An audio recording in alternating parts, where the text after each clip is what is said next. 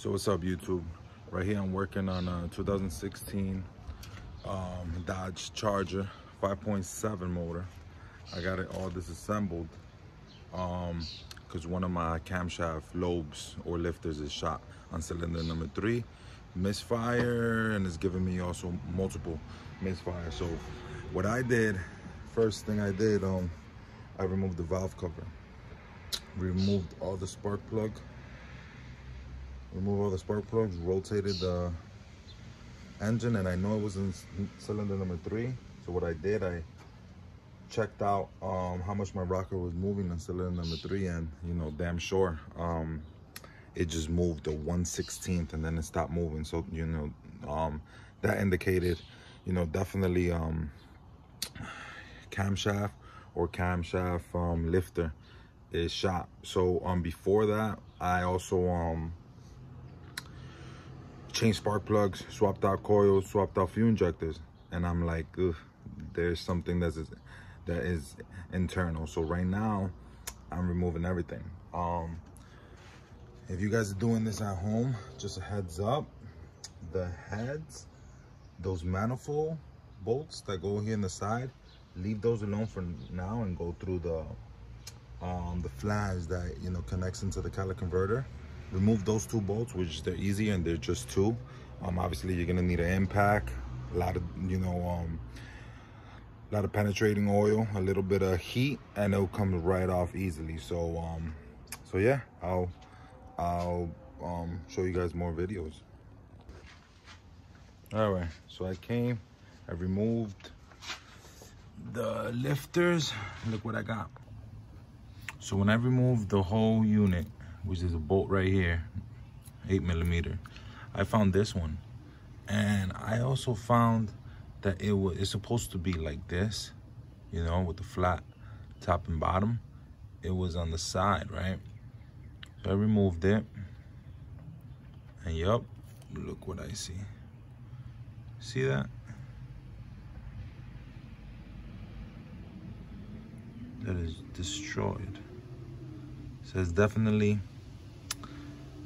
um, this got stuck or rotated for some weird reason. Then I come over here.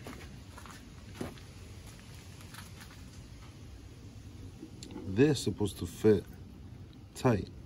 See it? No movement whatsoever. And yeah, definitely um, looks like it rotated in there. Maybe it locked up or something and that's when it started acting up. And then these are supposed to be, you see, no wiggle room whatsoever. So I ordered the whole set. I just hope it comes with this plastic piece. Lifters, holders, I guess. That, I don't know. haven't checked it. But yeah, that's what it is. And um, so this is it. It's crazy how you gotta remove the heads to get into the lifters. All right, so this is the cam right here. And as you can see, look at all that pitting. I mean, if this didn't happen, look at that lobe. That lobe is completely out. I see it. That lobe is completely worn out. That lobe, if I'm not wrong, supposed to match the lobe right next to it, just a little offset. Look how much it worn out. Who knows when it happened. Exactly. But look at all that pitting. All that pitting. What is that? How, you know, how is that kind of possible? Obviously, it's worn out. So, all right, guys. So I finally got both heads out and the camshaft. What a headache, let me tell you. What a headache. Never want to do it again.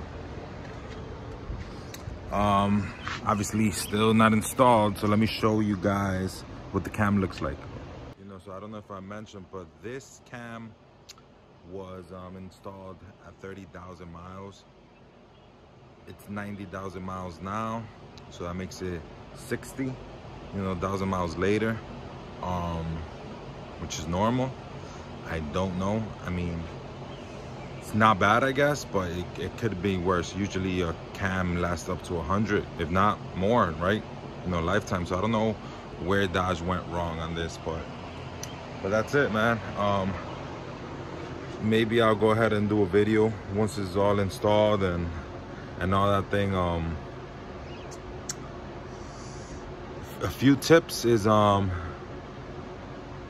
from the heads to remove the exhaust manifold. Don't remove it from the head remove it down from the exhaust pipe. Um, AC you don't have to disconnect it. Just put a zip tie and let it hang. Uh, but everything else kind of um this right here what is this? AC transmission cooler. This doesn't have to be um, completely disconnected you know just let it hang here and, and it comes out right through the side. I mean obviously if you guys got the money and the time to remove everything you know because then once you remove those lines transmission you know fluid um you got to put some ac um freon and all that stuff. But yeah you know bumper wire harnesses all of that got to be removed. Um yeah so right now i'm about to check my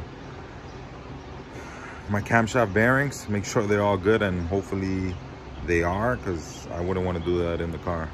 I mean i can but i'm just gonna slap this on. All right guys you know thanks for watching and don't forget to like subscribe